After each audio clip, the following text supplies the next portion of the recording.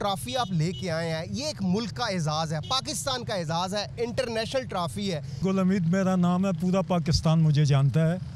और वर्ल्ड में भी मेरा नाम है now I am under three hundred में मेरा नाम है दुनिया में। ट्रॉफ़ी मैं नहीं चाहता कि मैं इसे बेचूँ। नाज़रीन अस्सलाम वालेकुम आप देख रहे हैं वाश टाइम्स और मैं हूँ आपका मेज़बान ताहिर नसीर। नाजिन, इस वक्त मैं मौजूद हूँ वाह बस्ती चौक में। ये वो चौक है, अगर मेरा कैमरामैन आपको इस तरफ़ दिखा सके तो ये एक शराब भी है, चौक भी है, लेकिन आवाम का जम गफ़ीर भी है। एक तरफ़ आवाम अपनी मौज मस्तियों में मगन है तो दूसरी जानब एक सुपरस्टार प्लेयर इस चौक में खड़ा हुआ, अपनी ट्रॉफ़ी सेल कर रहा था।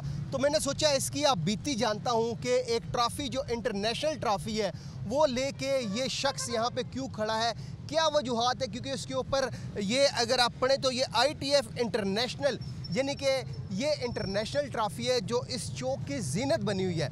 वजूहत क्या हैं? ये शख्स कौन है? इसका माजी क्या था?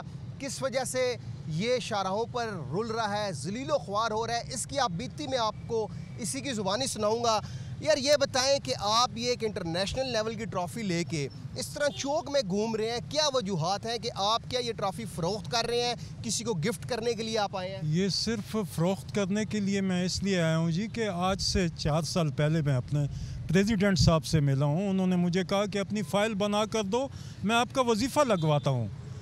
क्योंकि now I am seventy two years old क्या वजह कि देखे माशाल्लाह आपने ये इंटरनेशनल ट्रॉफ़ी भी उठाई हुई है और यकदम आप पहुँच गए हैं वजीफ़े के ऊपर, क्योंकि अक्सर कहते हैं जी, पाकिस्तानी कौम काम नहीं करती। माशाल्लाह, लगते तो आप 40-45 साल के हैं, बिल्कुल फिट हैं हशाश बिशाश हैं चाको चौबन भी हैं।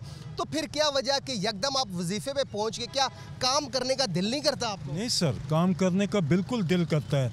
लेकिन आप इस वक्त किसी भी क्लब में चले जाएँ तो वहाँ वो लोग काम कर रहे हैं जिनको आठ आठ, दस दस साल हो गए काम करते हुए।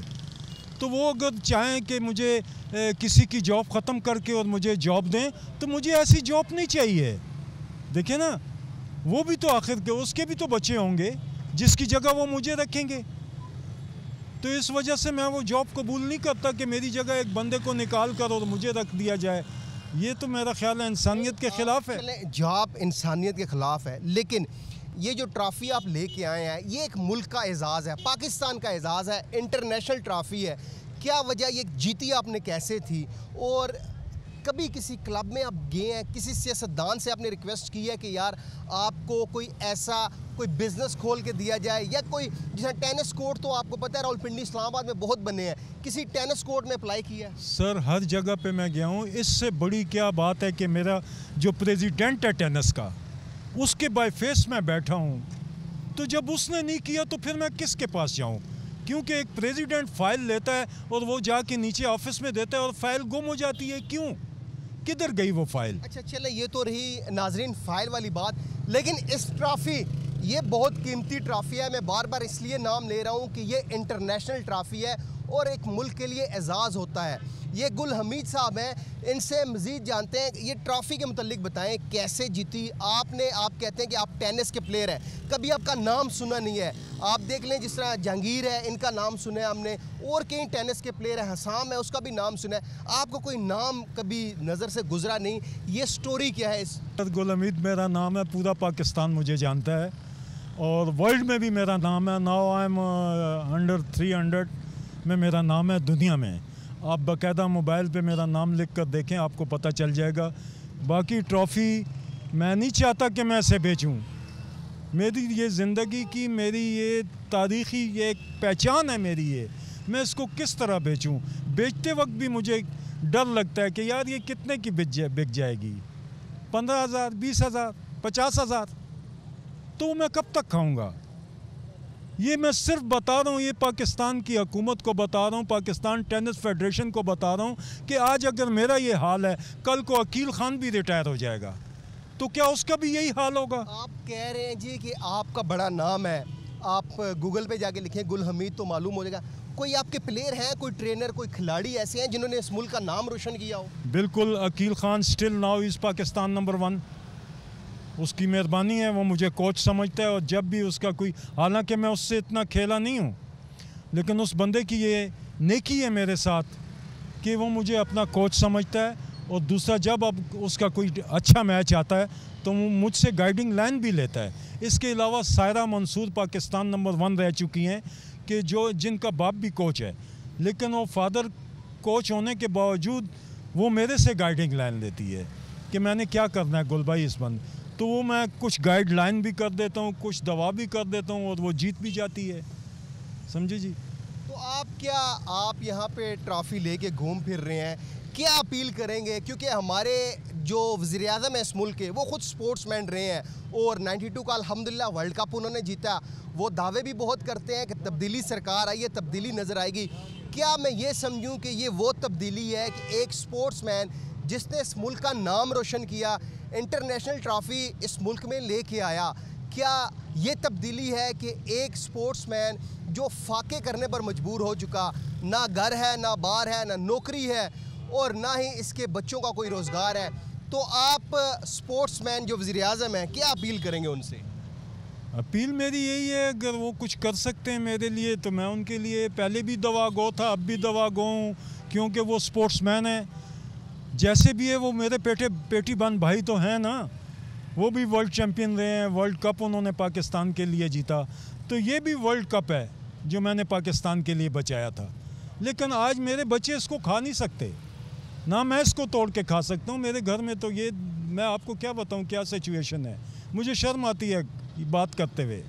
ये मेरा मुल्क है। एक इंडियन मुझे कह रहा है कि Gul Khan you teach our children in India तो ये बहुत बड़ी बात है और मैंने उसको कहा कि नहीं, Krishna Bopati I teach our children in Pakistan so what can I do now क्या करूँ मैं इस मुल्क के लिए और?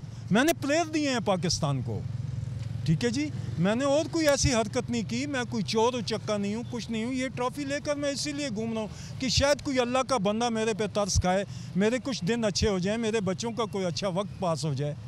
और मैं क्या कर सकता हूँ? मैं यहाँ से जाता हूँ इस्लामाबाद ये ट्रॉफ़ी लेकर और खुदा पे यकीन करें कि लोगों से लिफ्ट माँगता हुआ जाता हूँ। मेरे पास इतना रेंट नहीं होता कि मैं गाड़ी में बैठ के जाऊँ।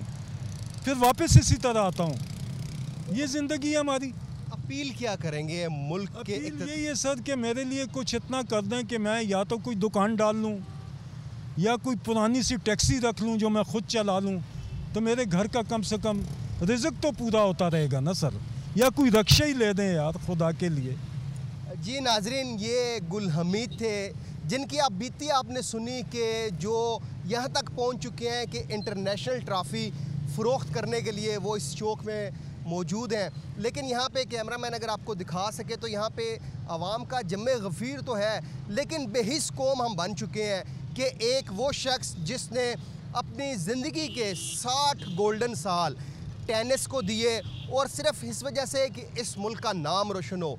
नो डाउट मुल्क का नाम टेनिस में रोशन भी हुआ। तीन साल ये विनर अप रहे। फिर उन्नीस सौ छियासी में इन्होंने ओमान में चैम्पियनशिप जीती। उसके बाद ये ट्रॉफ़ी लेके आए। लेकिन ये इस कदर मायूस हो चुके हैं। इनकी मायूसी का ये आलम है कि कोई भी सियासी शख्स, कोई भी जो प्लेयर है, कोई भी टेनिस स्टार इनकी बात सुनने को तैयार नहीं है।